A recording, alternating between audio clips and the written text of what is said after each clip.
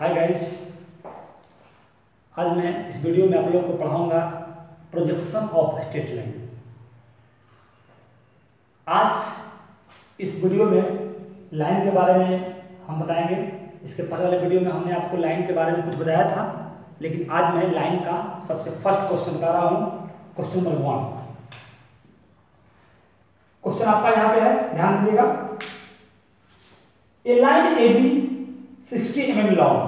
Has its end A 20 mm above HP and 30 mm in front of VP. The line is kept perpendicular to VP and parallel to HP. Draw its projection. Clear ना कोई एक line है हमारे पास line है clear ना line है है लाइन का नाम है ए बी लाइन का नेमिंग हम लोग कर दिए ए और बी क्लियर इसका लेंथ 60 एम है। Has its end A has its end A हम यहाँ पे एक मार्किंग कर देते हैं ताकि आपको भी समझ में आ जाए।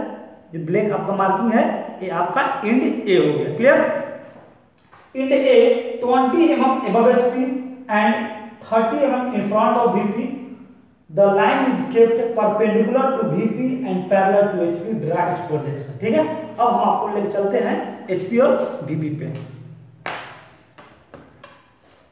ध्यान देंगे HP क्लियर और VP आपको दिख रहा होगा हमारे पास लाइन है लाइन का नेम हो गया ए और बी इस लाइन का length 60 M M. End A, जैसा कि यहाँ पे आपको मार्किंग दिख रहा होगा, ब्लैक मार्किंग, ये आपका इंड ए हो गया। 20 M M above H P twenty M M above H P clear ना? And 30 M M in front of V P thirty M M in front of V P फिर बोल रहा है the line is kept मतलब जो line आपका रखा हुआ है वो VP पे परपेंडिकुलर है, या VP से आपका परपेंडिकुलर है। तो VP से परपेंडिकुलर हो गया। क्लियर ना?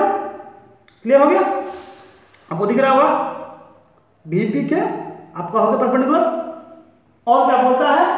Parallel to HP parallel to HP clear ना? चलिए, एक बात आपको समझना होगा। जब क्वेश्चन में एक बार बोलेगा कि परपेंडिकुलर टू VP तो श्योर आपका एचपी के पैरल हो जाएगा। क्लियर ना लेकिन इसमें मेंशन कर दिया है कि perpendicular to VP and parallel to HP चलिए। हो गया ना? ड्रा इट्स प्रोजेक्शन इसका बनाएँगे प्रोजेक्शन तो सबसे पहले इसमें हम बनाएँगे फ्रंट व्यू जैसा कि आप इस लाइन को देख रहे होंगे तो सिर्फ़ आपको ए पोर्शन दिखाई देता होगा। सिर्फ़ ए पोर्शन यानी कि बी इसलिए कि जो मेरा इंड ए है, हमारी इधर है। और जो आपका बी इंड है, आपकी ओर है। यानी कि सिर्फ़ आपको बी दिख रहा होगा बी पॉइंट इसलिए कि जो बी है बी ए को ओवरलैप कर रहा है। यानी कि जो आपका बनेगा फ्रंट व्यू ये आपका यहाँ बनेगा। बी पे। इसलिए कि आपको इसके पहले वाले वीडियो में हमने आपको बताया था कि फ्रंट व्यू हमेशा वीपी में बनता है। क्लियर ना? यानी हम इसको कर देंगे बी डैश और ए डैश इसलिए कि बी ए को ओवरलैप कर रहा है, लेकिन हमें तो यहाँ आपको दिखाना होगा यहाँ पे जो भी आपका पॉइंट बना, वो आपका बी डैश और ए डैश हुआ। लेकिन इसमें बोला था कि twenty M M above H P इसलिए कि इंड जो आपका ए है end A twenty M M H P से ऊपर है। तो हम यहाँ दिखा देंगे इसलिए जो भी आपका बनेगा फ्रंट व्यू वो 20 एम ऊपर बनेगा। यहाँ पे हम आपको दिखा देते हैं। 20 एम जैसा कि आपको दिख रहा होगा। क्लियर ना? इसको हम एचबी पेंसिल से भी मार्क कर सकते हैं। लेकिन जो आपका ब्लैक है, वो यूज़ करेंगे एचबी पेंसिल आप लोग। क्लियर ना? ये बना आपका front view front view clear ना? आप बनाएँगे टॉप व्यू चलिए, एक केस तो आपका हो गया। अब यदि इस लाइन को हम प्रॉपरली वे से ऊपर से देखेंगे टॉप से देखेंगे तो इसका जो छाया बनेगा इमेज बनेगा, वो आपका एच पे बनेगा, यानी कि जो भी आपका बनेगा छाया, वो आपका टॉप व्यू बनेगा, यानी कि टॉप व्यू हमेशा एचपी पे ही बनता है। ध्यान देंगे टॉप व्यू हमेशा एचपी पे बनता है लेकिन इस केस में क्या बोलता है कि 30 M in front of VP ये जो लाइन है, इस वीपी से 30 एम एम वीपी के सामने रखा हुआ क्लियर बनने के बाद जो आपका टॉप बनेगा लाइन का जो आपका शेडो है रियल बनेगा। यानी कि लाइन का जो लेंथ रियल आपका साठ एम mm दिया हुआ है, ये आपका साठ एम एम बनेगा। यानी जो बनेगा इमेज हम आपको दिखा दे रहे हैं यहाँ पे। ये आपका थर्टी हो गया, इसलिए कि थर्टी एम बोला है कि वीपी के सामने है और उसके बाद जो भी आपका ई बनेगा इमेज रियल बनेगा एचपी पे। जैसा कि हम आपको बनाकर दिखा दे रहे हैं, ये आपका हो गया, यहाँ से यहाँ तक थर्टी एम mm और ये लाइन का लेंथ हो गया sixty M mm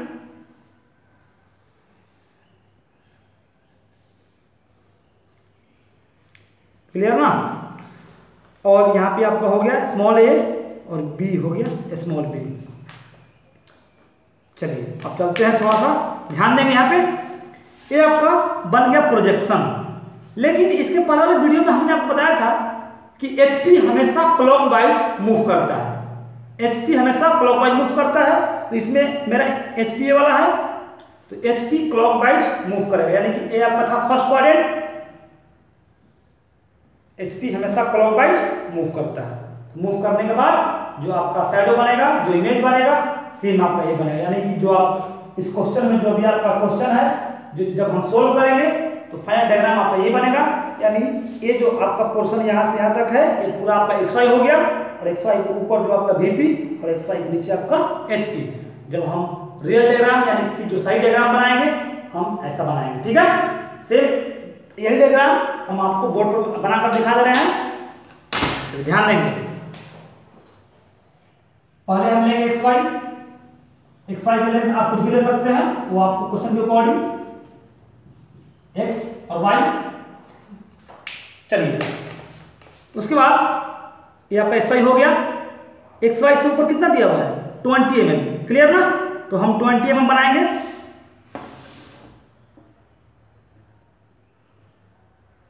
Twenty M M? Twenty M M हम बना देंगे।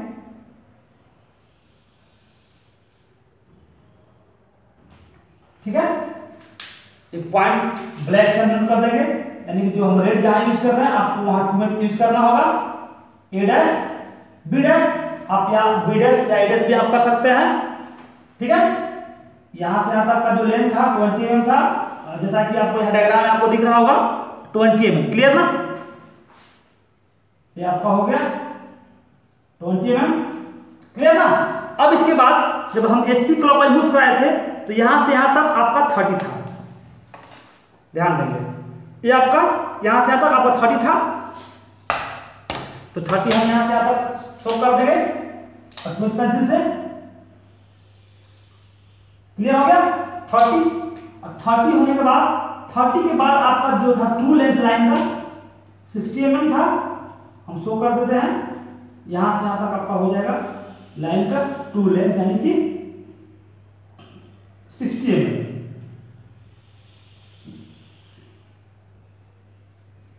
क्लियर ना?